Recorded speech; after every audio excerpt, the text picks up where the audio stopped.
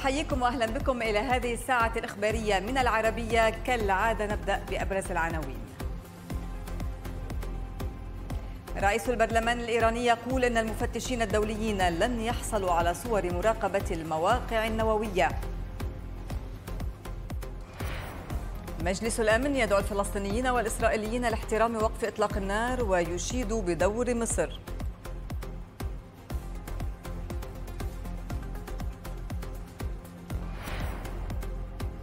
نطق مرتقب للحكم في دعوى تعويض سفينة السويس الجانحة ودفاع الشركة يحمل القناة المسؤولية. وتزايد المخاوف في عدد من الدول من تعرض مصابي كورونا للفطر الأسود وتضخم اللسان.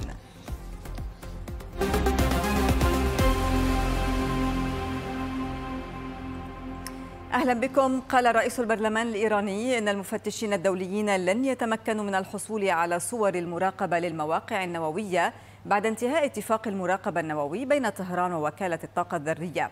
وكانت إيران أبرمت في فبراير صفقة تسمح للوكالة الدولية للطاقة الذرية بتركيب كاميرات في منشآت رئيسية لتسجيل أنشطة تخصيب اليورانيوم.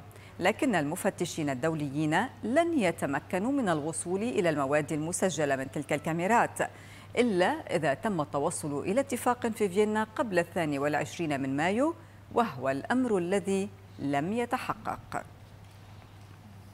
وقبيل استئناف جولة المفاوضات الخامسة في فيينا حول الاتفاق النووي كشف دبلوماسي أمريكي أن الأصعب في المفاوضات ترك للنهاية. وقال الدبلوماسي الأمريكي في مقابلة مع دبلوماتيك إن الأطراف المعنية بالاتفاق أحرزت تقدما ولكن لا تزال هناك خلافات كبيرة وعمل كبير يتعين القيام به لحل المشكلات المتبقية. مؤكدا أن الصفقة تبدو ممكنة لكنها ليست حتمية. الدبلوماسي الأمريكي لفت إلى أن الجولة الرابعة وضعت خلالها مسودة لخارطة طريق ترسم الخطوط العريضة لاتفاق محتمل بين الولايات المتحدة وإيران. وهذا الاتفاق يمكن الطرفين العودة إلى الامتثال الكامل للاتفاق النووي الموقع عام 2015 هذا وأشار إلى أن الانتخابات الرئاسية الإيرانية المقرر إجراؤها في يونيو قد تترك آثارها على سير المفاوضات. أعرب ميخائيل أوليانوف رئيس الوفد الروسي إلى المفاوضات النووية الإيرانية في فيينا عن تفاؤله بقدرة الأطراف على التوصل إلى نتائج ملموسة مع بداية يونيو المقبل منوها أن واشنطن اتخذت قرارا سياسيا بالعودة إلى الاتفاق النووي. وأكد أوليانوف أن إيران ستوقف تخصيب اليورانيوم بنسبة 60% في الأيام القليلة المقبلة وأن هذه الصفقة توفر درجة عالية من التأكيد على أن إيران لم ولن تمتلك أسلحة نووية. المدير العام للوكالة الدولية للطاقة الذرية رافائيل جروسي سيتحدث بعد ساعات عن مراقبة البرنامج النووي الإيراني مع انتهاء مدة الاتفاق الفني الذي تم توقيعه في فبراير الماضي لتخفيف القيود التي فرضتها طهران. وسيطلع جروس الصحفيين على التطورات المتعلقة بأعمال المراقبة التي تقوم بها الوكالة الدولية للطاقة الذرية في طهران.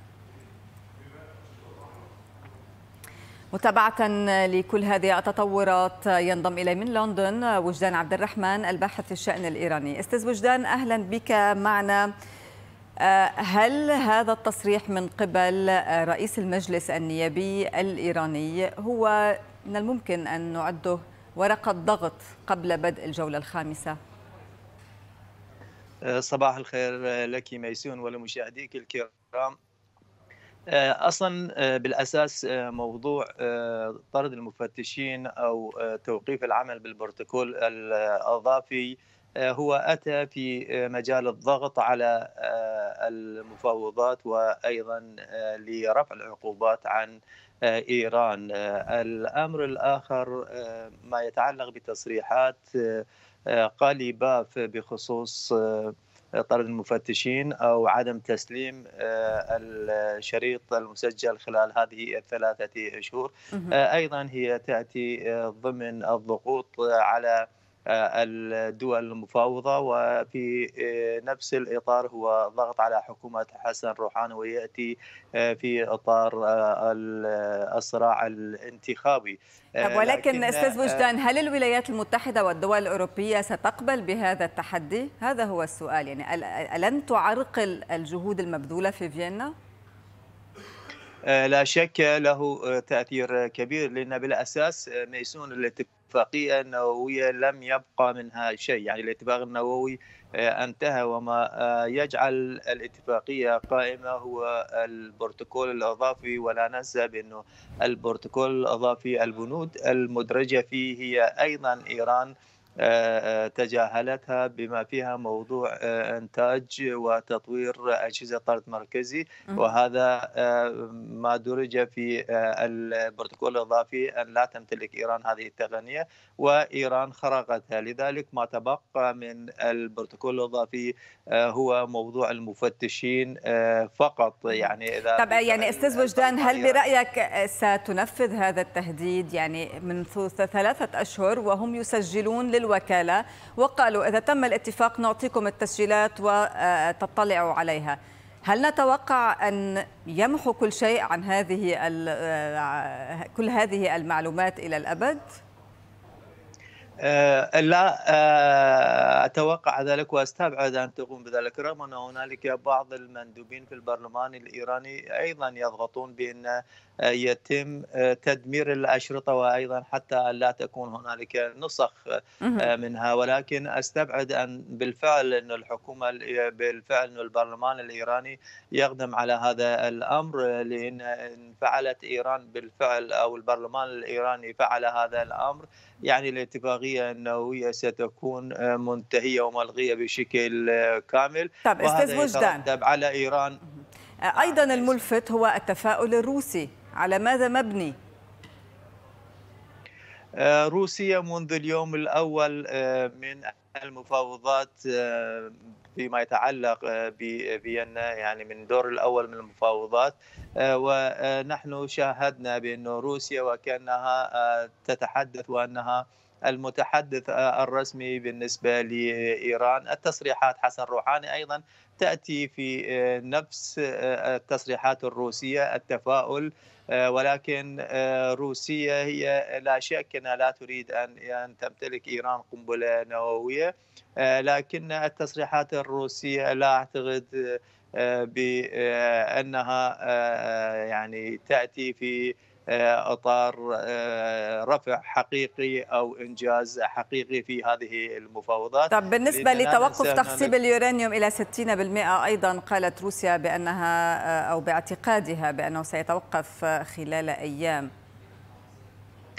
لو كانت إيران لديها نية التوقف عن تقصيب اليورانيوم بنسبة 60% لا أعتقد أن هنالك أي جدوى لتدمير أشرطة التسجيل في المفاعل النووية الإيرانية. هذا يتناقض ما بين ما يقوم به البرلمان الإيراني الذي الآن أصبح يتحكم بموضوع الملف النووي الإيراني فيما يتعلق بموضوع تدمير الأشرطة المسجلة وأيضا ما بين نية النظام الإيراني لتخفيف نسبة إنتاج اليورانيوم من 60% إلى قد يكون 20% أو أقل من ذلك. لا أتصور إنه بالفعل البرلمان الإيراني والمتشددين يسمحون بهذا التراجع لأن بالنسبة للمندوبين في البرلمان الإيراني صرحوا بشكل علني إما أن يكون هنالك اتفاق كامل وشامل واما أن لا يكون اتفاق. لذلك إذا ما تابعنا هذه التصريحات هذا لا نجد من إيران بأنها بالفعل ستوقف تقصيب اليورانيوم بنسبة 60% شكرا لك من لندن وجدان عبد الرحمن الباحث في الشأن الإيراني على المشاركة معنا في هذه النشرة. شكرا ياسون تطورات ملف إسقاط الطائرة الأوكرانية في كندا لم تتوقف. آخرها تعيين البروفيسور والمحامي الدولي بايام أكهافان مستشارا خاصا لقضية الطائرة. القرار وصفته أسر الضحايا بأنه يعكس إصرارا من الحكومة الكندية على محاسبة النظام الإيراني على خلفية إسقاط الطائرة. ترحيب من أسر ضحايا الطائرة الأوكرانية على قرار الحكومة الكندية بتعيين البروفيسور والمحامي الدولي بايام أكافان مستشارا لشؤون التفاوض في قضية الطائرة مع النظام الإيراني. الخطوة وصفت بالمهمة لأنها تظهر إصرار كندا على مساءلة النظام الإيراني. The ruling was uh, already made by an Ontario judge. خطوات جيدة للحكومة الكندية لكننا نرفض التفاوض مع النظام الإيراني ونطلب بإيصالها للمحكمة الدولية لمحاسبة طهران. جريمة إرهابية وعمل متعمد بحسب القانون الكندي. هذا هو قرار محكمة أونتاريو حول إسقاط الطائرة. وفقا للأدلة التي قدمتها أسر الضحايا ضد متهمين هم كل من مرشد إيران خامنئي والحرس الثوري وأمير حاجي زادة قائد الحرس الجوي. Uh, لقد ربحنا القضية واعتبرت جريمة إرهابية. الخطوة القادمة محكمة مفتوحة مع شهود ومطالبة بالتعويضات والعدالة. إذا الحصانة التي تتمتع بها الدول الأجنبية في كندا تم استثناء إيران منها بصفتها دولة داعمة للإرهاب وسمح القضاء الكندي بملاحقتها قانونيا. إيران دولة راعية للإرهاب. هكذا صنفتها الحكومة الكندية منذ عام 2012 هذا القانون سمح لأسر الضحايا بملاحقتها في قضايا ادعاء مدني. رفاه السعد العربية تورنتو.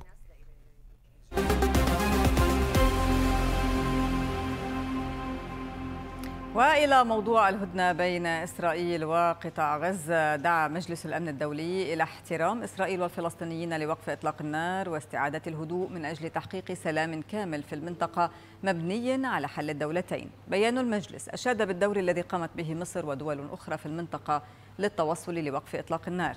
البيان وافقت عليه الولايات المتحدة بعد شطب فقرة تندد بأعمال العنف واستبدالها بالأسف على الخسائر المدنية بسبب أعمال العنف. وأكد بيان مجلس الأمن على الحاجة الفورية لتقديم المساعدات الإنسانية للفلسطينيين وإعادة إعمار قطاع غزة. من جهته قال مسؤول السياسة الخارجية في الاتحاد الأوروبي جوزيف بوريل إن وقف إطلاق النار في غزة خطوة مهمة وأن على جميع الأطراف استغلال الفرصة لبناء سلام حقيقي بين الجانبين.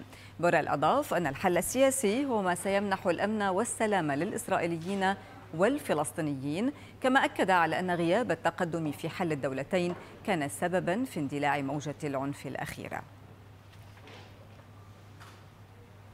وبالتزامن مع هذه المواقف مشاهدينا تواصلت الجهود المصرية لتثبيت التهدئة بين الإسرائيليين والفلسطينيين. مصادر العربية أفادت أن لقاءات الوفد الأمني المصري مع المسؤولين الإسرائيليين في تل أبيب تضمنت إبلاغ القاهرة لإسرائيل بضرورة وقف استفزازاتها للفلسطينيين في القدس. كما عرض الوفد المصري جدولا زمنيا لتثبيت وقف إطلاق النار في غزة وطالبت إسرائيل بوضع ضمانات لوقف إطلاق الصواريخ من غزة وربطت تخفيف الحصار عن القطاع بالهدنة الطويلة.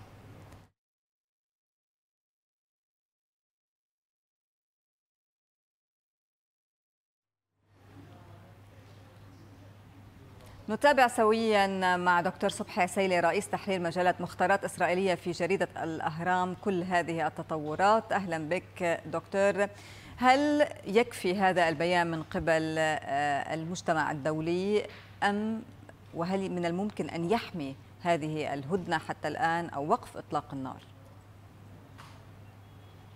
يعني بكل تأكيد بيان من مجلس الأمن شيء مهم للغاية في هذه اللحظات. فشل مجلس الأمن طبعا خلال الأزمة في أن يتوصل إلى مثل هكذا بيان. كان مطلوبا في هذه الفترة ولكنه أيضا مطلوب في هذه الفترة لأنه هذه الفترة التي تتضمن أو تعنى بتثبيت وقف إطلاق النار ليست أقل أهمية ولا أقل صعوبة من فترة وقف إطلاق النار نفسه. الآن نحن نأخذ القيمة الإيجابية أو أهمية هذا البيان فإنه يعني قولا واحدا يعني أن الولايات المتحدة الأمريكية الآن قالت كلمتها وأكدت على موقفها الذي طلبت به بنيامين نتنياهو ويعني في المقام الأول والأخير أن إسرائيل آه، وقف إطلاق النار هو مصلحة إسرائيلية تماما. نعلم جميعا أن الولايات المتحدة الأمريكية تحمي إسرائيل وتوفر لها الضمانات في مجلس الأمن فأن تسمح الولايات المتحدة بتمرير هذا البيان يعني أنها توافقت مع الجانب الإسرائيلي على أن وقف وقف إطلاق النار وتثبيت وقف إطلاق النار هو مصلحة إسرائيلية بالأساس لابد من الدفاع عنها. طيب. وبناء عليه تحشد الولايات المتحدة الأمريكية الآن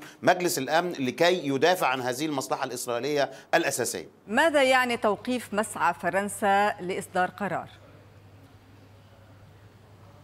يعني تاني مرة أخرى أقول أن الولايات المتحدة الأمريكية طول الوقت تحاول أن تمسك الدفة بيدها وأن يكون القرار بيدها وأن تحمي إسرائيل من أي إجراءات بعيدة عن الولايات المتحدة الأمريكية. الولايات المتحدة الأمريكية تتحرك في هذا الملف منفردا تماما. تنسق بعض الجهود في اللحظة التي ترتئي فيها أن سمت مصلحة إسرائيلية. هي تجاوبت مع المبادرة المصرية ومع الجهد المصري الكبير الذي بذل منذ اليوم الأول في اللحظة التي أدركت فيها أن إسرائيل قد انتهت من مهمتها طبقا لما يقرره نتنياهو. عندها نعم. تدخلت الولايات المتحدة دعمت الجهد المصري بشكل واضح جدا حدث اتصال بين الرئيس الأمريكي والرئيس عبد الفتاح السيسي والآن تتدخل الولايات المتحدة أيضا عبر مجلس الأمن لتثبت هذه التهدئة بعيدا عن أي أطراف أخرى. الولايات المتحدة لا تريد لطرف آخر أن يكون فاعلا في هذا الملف خاصة حين نتحدث بالاتحاد الأوروبي وتحديدا حين يكون الكلام عن فرنسا. لا أتصور أن الولايات المتحدة الأمريكية تكون راضية أو سعيدة أو مرحبة بأن تقتنص فرنسا. فرنسا ساعية بشكل أساسي لأن تقتنص دور كبير في هذا الموضوع ربما تدعو إلى مؤتمر دولي وتصطف هنا مع القاهرة ومع بعض الأطراف العربية. أتصور أن الولايات المتحدة من مصلحتها أو نعم. رؤيتها الحالية قائمة. لا أقول على إفشال هذه المساعي ولكن على الأقل ألا يكون ذلك بعيدا عن الولايات المتحدة الأمريكية. دكتور تحدث عن الجهود المصرية والكل تحدث خلال الأيام الماضية الجهود المصرية لوقف إطلاق النار. حتى الآن هناك كما تابعنا رحلات مكوكية للوفد المصري هل هناك من معلومات إلى أين وصل حتى الآن؟ يعني المعلومات الواردة حتى الآن وفيما أعلم أن الجهود ما زالت جارية ما زالت مصر مصرة على تثبيت وقف إطلاق النار. المشكلة الآن في إقناع الطرف الإسرائيلي والتواصلات بين مصر والولايات المتحدة الأمريكية كفيلة بأن تهدئ الجبهة الإسرائيلية. أنا أتصور أن الإدارة الأمريكية ومجيء وزير الخارجية الأمريكي إلى المنطقة سيساعد كثيرا في تهدئة الأمور من جانب الموقف من جانب إسرائيل. إسرائيل لابد أن تلتزم بعض الالتزامات حتى لا يخرج من الفصائل الفلسطينية ما يحدث. مصر بدورها تتولى بالأساس موضوع الجانب الفلسطيني. وتنقل كل المطالب الفلسطينية لأنها في الحقيقة كما تراها مصر هي مطالب مشروعة للفلسطينيين وليس لحماس. الدفاع الآن هو على الفلسطينيين وليس على حماس. فحين نتوقف نتكلم عن ضرورة وقف الاستفزازات ضرورة إعادة الأمور في حي الشيخ جراح والمسجد الأقصى إلى ما كانت عليه قبل ذلك حتى لا يحدث أي نوع من الاستفزاز. تصور أن مصر ما هي الإجراءات؟ تحاول أن تقنع الإسرائيليين بهذا الموقف. دكتور عسيلي الإجراءات التي تتخذها مصر لحماية هذه الهدنة أو آه، لوقف حماية وقف إطلاق النار. يعني ما زلنا في هذه المرحلة هذه المرحلة اللي يقال عنها التثبيت ونحن بقى لنا ثلاث أيام في تثبيت وقف إطلاق النار. الأساس في أن تقنع الإسرائيليين طول الوقت أن هذه مصلحة إسرائيلية وأن هذا الموضوع وتفجره سيعني مزيدا من عدم الاستقرار لن تتحمله هذه المنطقة. إسرائيل حين تقتنع بهذا الموضوع يعني أن إسرائيل ستتوقف عن هذا الأمر. ومن جانب آخر مصر والوفد المصري الموجود تقريبا منذ بداية الأزمة في ما بين رام الله وما بين غزة وما بين تل أبيب هذا الوفد مهمته مهمته الأساسية أن يعني يرشد القرارات سواء من جانب إسرائيل نعم. أو من جانب الإخوة في الفصائل الفلسطينية في غزة حتى لا تطلق صواريخ حتى بدون قرار وحتى بدون قرارات مدروسة يكون نتيجتها مزيد من عدم الاستقرار في المنطقة ومن ثم يستغل كل طرف من الأطراف الطرف الآخر أو موقفك بذريعة لكي يتدخل ويحدث نعم. ما يحدث حماس فعلت نفس الأمر وإسرائيل فعلت نفس الأمر. طب دكتور عسيلي سؤال أخير وبإيجاز هل سيكون هناك استئناف للعملية التفاوضية بين الفلسطينيين وإسرائيل تقودها مصر؟ بكل تأكيد هذا أمل كبير نحن نسعى إليه وكل المؤشرات الواردة حتى هذه اللحظة. طبعا هذه هي الرؤية المصرية ونحاول أن نحشد لها المجتمع الإقليمي والمجتمع الدولي. وأتصور أن المؤشرات الواردة من الولايات المتحدة الأمريكية ومن حتى مجلس الأمن والأمم المتحدة والمجتمع الدولي بخصوصا الاتحاد الأوروبي أتصور أنه لدينا فرصة كبيرة جدا لتحقيق هذه الرؤية. مصر الآن تدفع وتقود في اتجاه تحقيق رؤيتها الأساسية القائمة على أنه لا أمن ولا استقرار في هذه المنطقة دون حل القضية الفلسطينية. ربما ننجح هذه الجولة آمل كثيرا أن ننجح في هذه الجولة بسبب بعض الأمور والمستجدات على تسوية هذه الأزمة اللي هي الحرب الرابعة على قطاع غزة. نحن نتحدث عن أشياء أكبر بكثير مما كنا نتحدث عليه في المرحلة السابقة. لحظة أن القضية الفلسطينية عانت جدا مع ترامب والآن نريد أن نحطها أن نضعها على تراك أو على ممر جديد. ربما يصل بنا لاستئناف المفاوضات ثم إطلاق عملية سلام أو تسوية بين الفلسطينيين وصولا إلى إقامة الدولة الفلسطينية. طبعا لك. هذا الموضوع دونه عقبات كثيرة نعمل على تذليلها شكرا لك. اعذرني انتهى وقت المقابلة. دكتور صبحي عسيلي رئيس تحرير مجلة مختارات إسرائيلية في جريدة الأهرام على المشاركة معنا.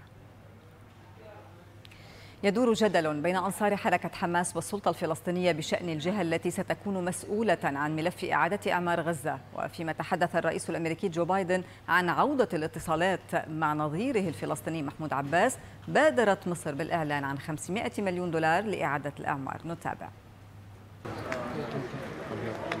لم تندمل بعد جراح المكلومين ولم يجف الدمع في غزة.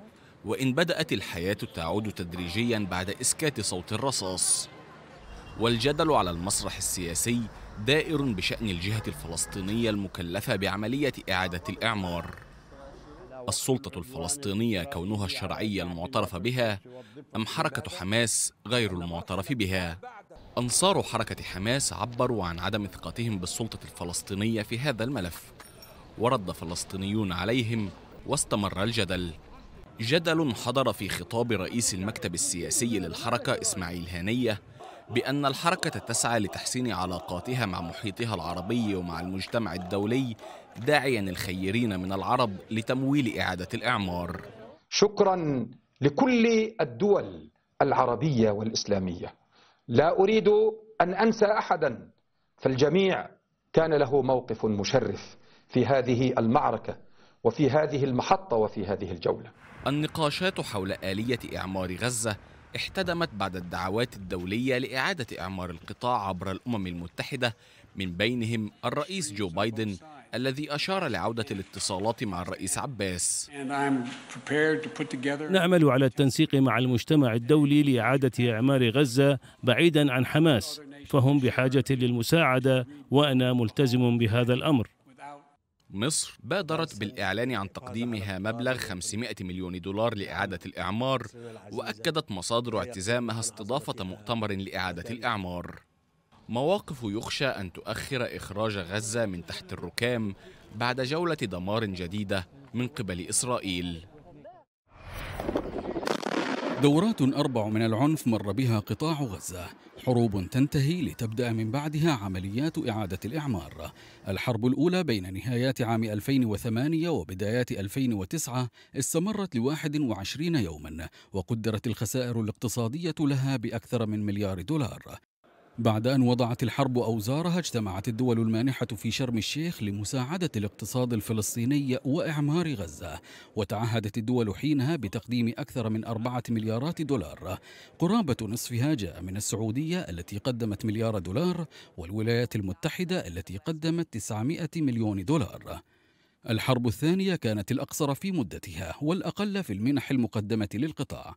تلتها بأقل من عامين أطول حروب غزة. استمرت لواحد وخمسين يوما. مجددا استضافت مصر اجتماع المانحين الذين قدموا خمسة مليارات ونصف المليار دولار ما يزيد بثلاثة أضعاف عن الحرب التي سبقتها. السعودية قدمت أكثر من نصف مليار دولار. خصص جزء كبير منها لإعادة إعمار الشريط الساحلي في غزة. في حين قدمت كل من الإمارات وقطر والكويت منحا فاقت 400 مليون دولار برامج إعادة إعمار غزة غطت بشكل عام تقديم الاحتياجات الطارئة لسكان القطاع وتأهيل البنية التحتية والمدارس والمباني العامة إضافة للطرق. وبعد التوصل لتهدئة في غزة قبل أيام أعلنت مصر تقديم مساعدات بنصف مليار دولار وقالت إن شركات مصرية متخصصة ستشارك في إعادة الإعمار.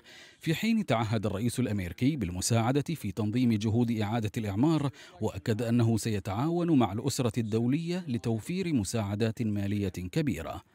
ومن المتوقع أن تتوالى المساعدات على قطاع غزة في الأيام والأسابيع المقبلة ما بين متبرعين يخففون من آثار الحرب على الأرض إلى جانب آخرين يقدمون الدعم فقط على الشاشات دون أن يكون لهم حضور واضح في المساعدات الإنسانية على الأرض. إذا 11 يوما من الحرب القاسية انقطع فيها الغزيون عن مزاولة حياتهم اليومية. زاد الدمار من عزلتهم عزلة. وفيما عادت الدوائر الحكومية اليوم للعمل يحاول سكان القطاع لملمة خسائرهم والخروج من هول الحرب وصدمتها. الوجع يخبئه موج البحر والحسرة تكتمها جدران الأبنية الصامدة. هكذا بدا صباح غزة يعاني هدوءا صاخبا. عودة عرجاء لحياة الغزيين بعد أيام الحرب القاسية التي شوهت ملامح مدينة منهكة أصلا من الحروب المتوالية التي تهدم ثم يعمرون ثم تهدم فيبنون حياة على أنقاض حرب سابقة. علهم ينتزعون حياة من فم اليأس. قلت أنا كيف طالعين؟ كيف أهل الحارة طلعوا؟ يعني صرنا نعبط في بعضنا ونبون ونحمد ربنا و... وندعي بالسلام اللي إحنا طلعنا بهذا, بهذا الشيء أحد عشر يوما من ظلام الحرب الصعبة التي دمرت بيوتا على رؤوس أصحابها. كم تتشابه الأبنية المدمرة لكن الركام يؤوي الكثير من القصص الحية التي مات أصحابها. لحتى الآن ولا كلمة بتتكلمش من كثر الصدمة والهول يعني يعني هي كانت في الطابق الثالث فجأة لقيناها تحت. بنت لحتى الآن مصدومة مش قادرة تحكي ولا كلمة. لحتى الآن يعني حتى بتكلم معها إيش اسمك؟ إيش كذا؟ بتضلها ساكتة برضاش تحكي. أطفال غزة ضربوا موعدا مع العيد وملابسه الجديدة فضربت الحرب فرحتهم في مقتل وأبقت بعضها تواسي أطلال منازلهم وأحلامهم المبعثرة. لا تزال غزة تلملم أنقاضها وتحصد خسائرها. ولا يزال أهلها تحت وقع الصدمة والمفاجأة. يتحسسون خطواتهم نحو المجهول الذي ينتظرهم. لقينا الوضع كارثي زي ما انت شايف. هيك زي ما انت شايف. لا يصلح شيء للاستخدام ابدا. وللأسف الشديد لا لحقنا موسم ولا لحقنا محلات ولا لحقنا بضايع الحمد لله كل شيء راح. المحل يعني صار له شغال تقريبا سنة زمان. السنة زمان إيش طلعت أرباح حصلت مقابلها يعني مخسر طاق يعني اثنين. وقت طويل سيحتاجه الغزيون لإعمار بيوتهم وترميمها. وهذا قد يكون مقدورا عليه. ولكن يبقى السؤال من سيرمم كسور الروح ووجعها؟ أنت قتلت أطفال لكن إحنا بنينا جيل شاف جرائمك وهذا الجيل حينتقم. سماح السيد العربية. ونتابع في نشرتنا بعد الفاصل اتهامات لقيادات حوثية بنهب آلاف القطع والمخطوطات الأثرية وتهريبها إلى إيران.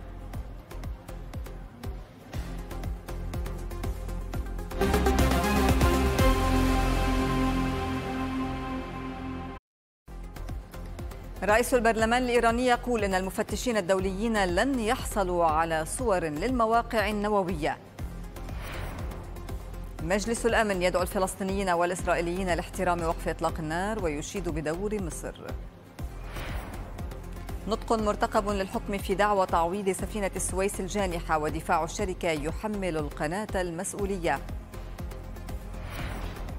تزايد المخاوف في عدد من الدول من تعرض مصابي كورونا للفطر الأسود وتضخم اللسان.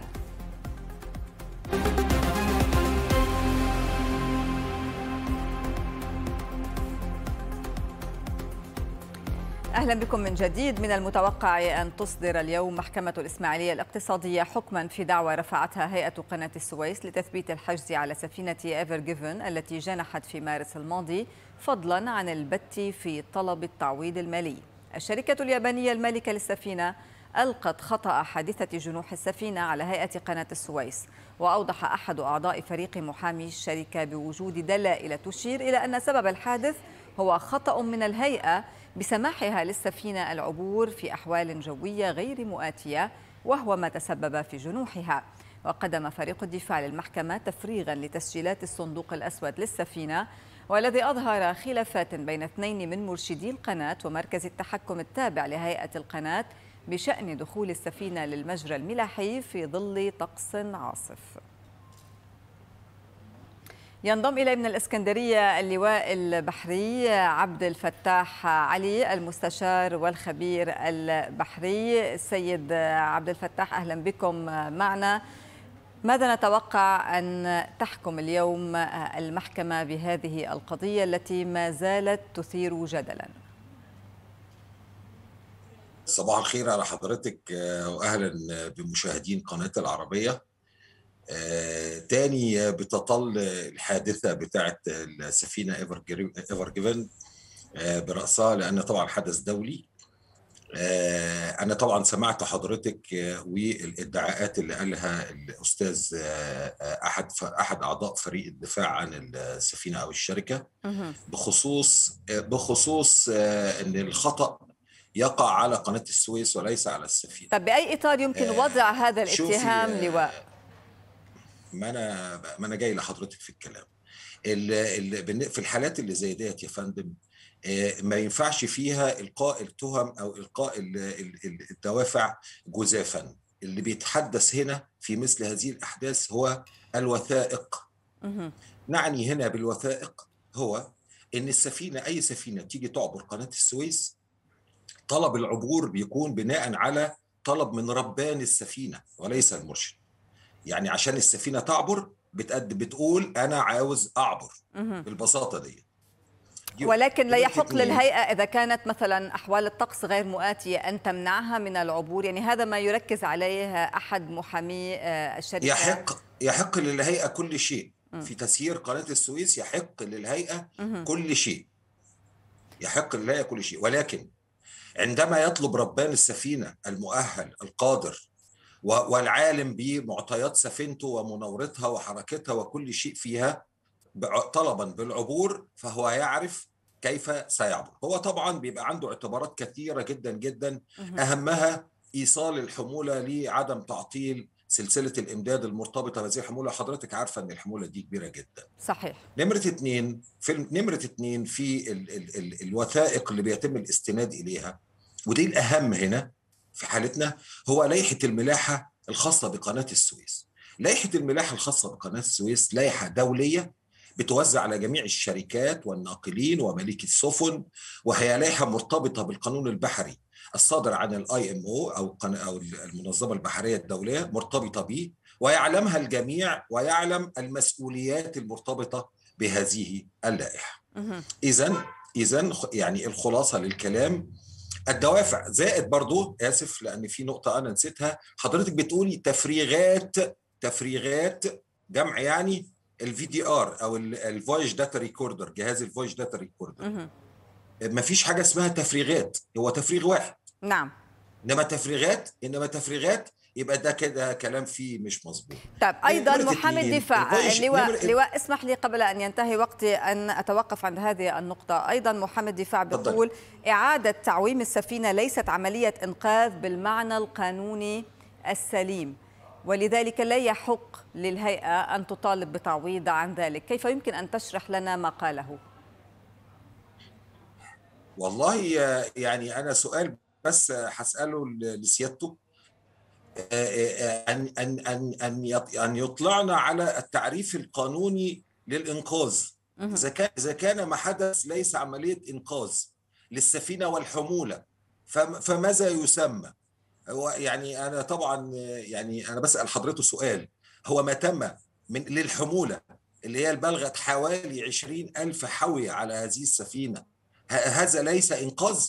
يعني حضرتك كخبير بحري هذا هذا ما نريد ما أن نعرفه. هو ما تم من انه حضرتك آه كخبير بحري تؤكد انه هذه عمليه هو سؤال هو سؤال مجيب. آه آه هي إحنا ده سؤال بيؤكد إنها عملية إنقاذ. هو إنقاذ السفينة وتعويم السفينة دون حدوث أضرار بها ودون حدوث انسكاب من المواد البترولية في القناة.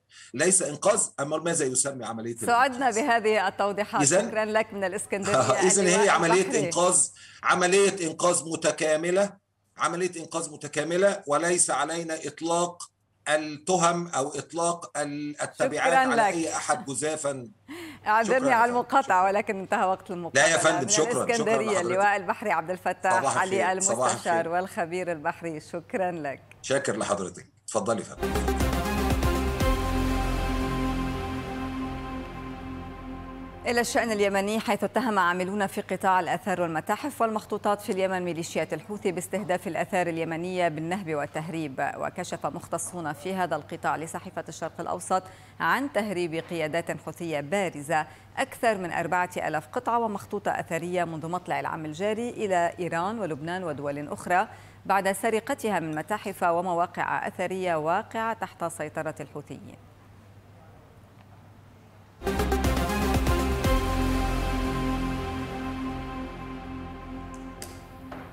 نبتعد قليلا عن أخبار السياسة لنذهب إلى أخبار أسواق الأسهم. مع ريما تفضلي ريما. شكرا لك ميسون. أهلا بكم من جديد. المكاسب الجيدة مستمرة على مؤشر دبي بدعم أساسي من الأسهم العقارية. سهم داماك يقفز بحدود في المئة. حاليا أيضا هناك دعم من أسهم مثل أعمار أيضا أعمار موز. لما لا نلقي نظره اذا على الأسواق الخليجية. في الوقت الحالي مؤشر دبي على ارتفاع ب 1.2% أبو ظبي مكاسب بنصف النقطة المئوية ومؤشر الكويت الأول على ارتفاع ب 0.1% نلقي نظره اذا على الأسهم الداعمة في دبي. أعمال ارتفاعات ب 2.2% دبي للاستثمار سوق دبي المالي أيضا على ارتفاع. ولاحظوا دمك قفزة حاليا ب 6% على هذا السهم. ماذا عن الأسهم المالية؟ إذا كان في أيضا دعم منها مثل دبي الإسلامي ارتفاعات ب 1.5% الإمارات دبي الوطني حاليا مستقرين ولكن أملاك للتمويل والإثمار القابضة على ارتفاع. في أبو ظبي قيم السيولة حتى الساعة تتخطى المليار درهم. هناك ارتفاعات على المؤشر بنصف النقطة المئوية وهذه نظرة على الأسهم الأكثر نشاطا من حيث القيمة. العالمية القابضة من ثم أبو ظبي الأول. طبعا هذه أسهم داعمة. الدار العقارية أيضا قفزة ب 1.1% ماذا عن الصورة في الكويت؟ نلقي نظرة عليها. جميع المؤشرات خلفي على ارتفاع. مؤشر الكويت الرئيسي على ارتفاع حاليا بنصف النقطة المئوية. وسط قيم سيولة في البورصة الكويتية تتخطى ال 40 مليون دينار.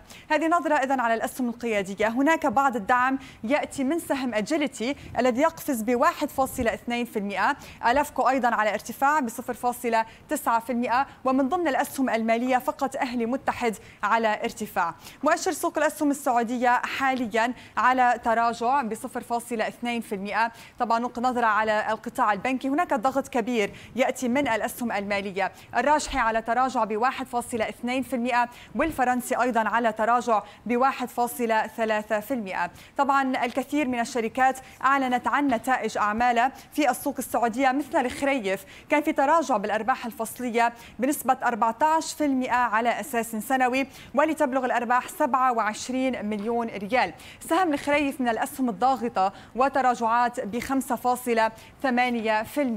أيضا نتابع سهم أسواق المزرعة كان في تراجع بالأرباح الفصلية بنسبة 47% على أساس سنوي لتبلغ الأرباح 4.2 مليون ريال.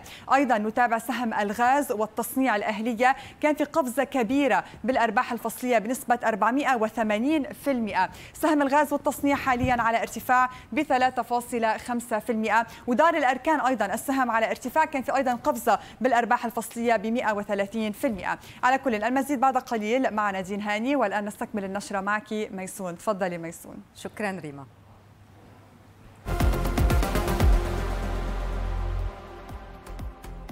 ونحن بدورنا سنتوقف مع فاصل لنتابع بعده عدوى الإصابة بمرض الفطر الأسود التي تنتشر بين مرضى كورونا تقلق الهند وتصل إلى مصر.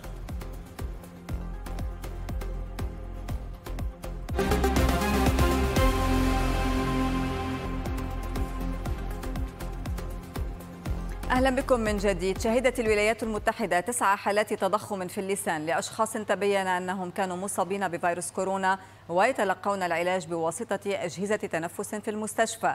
في أحدث مضاعفات لكورونا تذهل الأطباء. وصلت الحالات الشديدة منها إلى تضخم اللسان بشكل كبير ما تسبب بعدم القدرة على الكلام وبلع الطعام بشكل طبيعي والاعتماد على أنبوب للتغذية. ويقوم حاليا طبيبان في دراسة إمكانية وجود اختلاف جيني قد يكون سببا لتلك الحالات وسط توقعات بالحصول على نتائج أولية في الخريف المقبل. الفطر الأسود من أخطر تبعات فيروس كورونا أيضا وقد يصل لإزالة العين وبمجرد الإصابة يكون المريض معرضا للموت في غضون أيام. فما هو هذا المرض وما علاقته بفيروس كورونا؟ نتابع.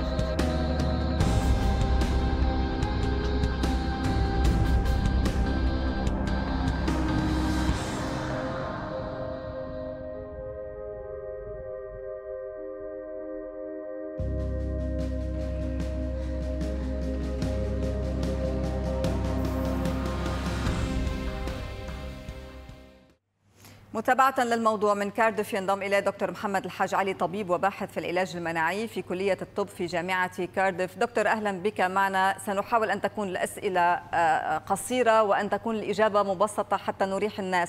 هل نحن دخلنا أمام حالة رعب جديدة تضخم لسان والفطر الأسود؟ أسعد الله أوقاتك مدام ميسون وأوقات السادة المشاهدين متابعي قناة العربية.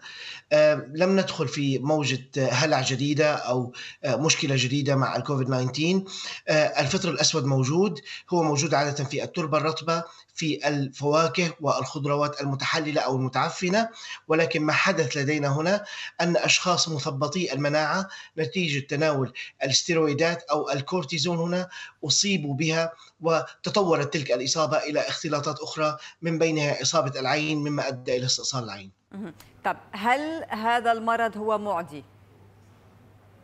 الفطر موجود وأبواغ الفطر أو السبورز لهذا الفطر موجودة بشكل طبيعي كما قلت أنا في التربة وفي الفواكه والخضروات.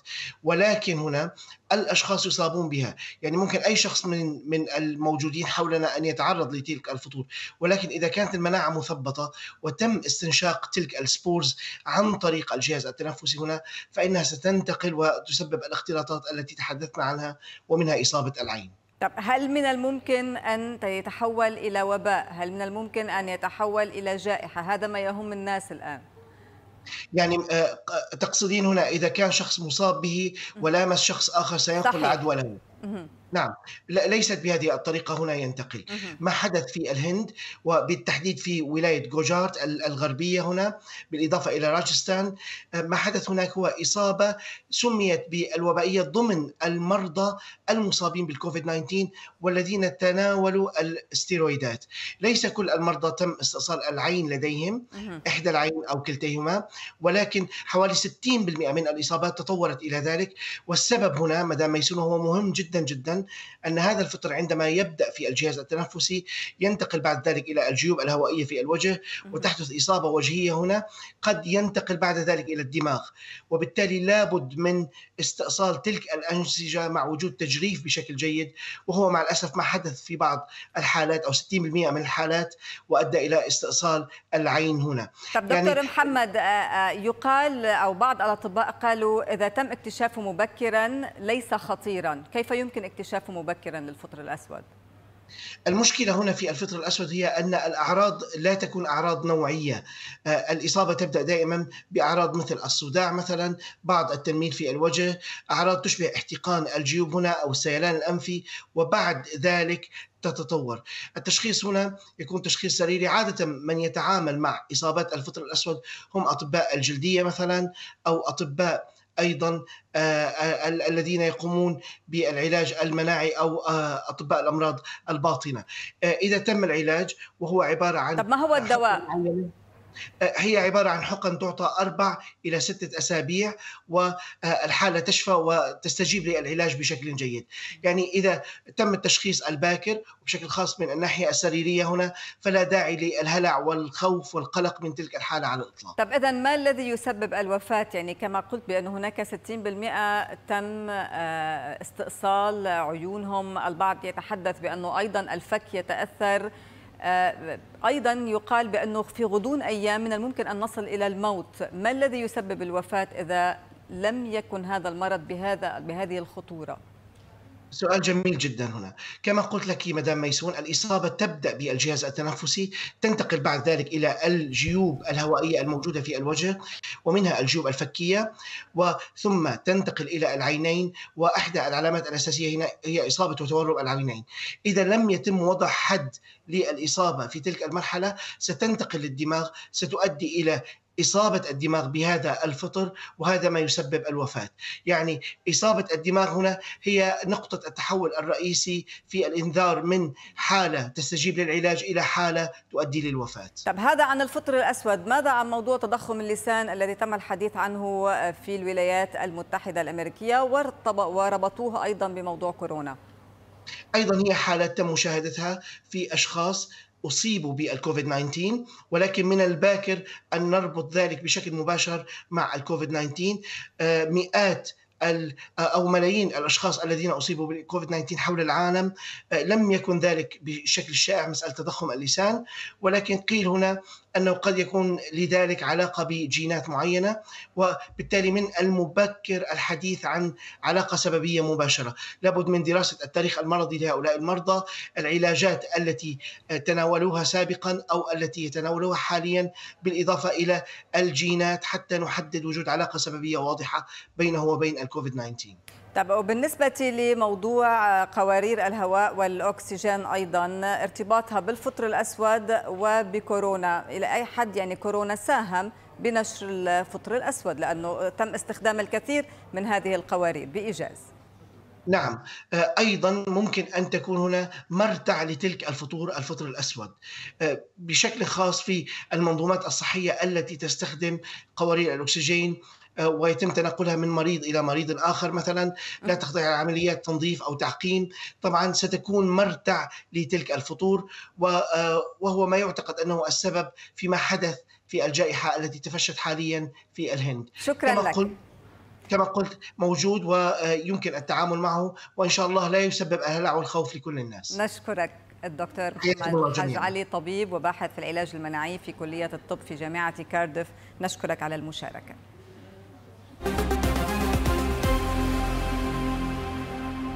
أوقفت السلطات العسكرية في ميانمار عمل أكثر من 125 ألف مدرس بسبب الانضمام إلى حركة العصيان المدني المعارضة للانقلاب العسكري. ووفقا لمسؤولين في اتحاد المعلمين فإن قرار وقف المدرسين عن العمل وفصلهم من وظائفهم يأتي قبل أيام من بدء العام الدراسي الذي قاطعه بعض المعلمين وأولياء الأمور تعبيرا عن رفضهم للانقلاب العسكري الذي استولى خلاله الجيش على السلطة بداية فبراير الماضي.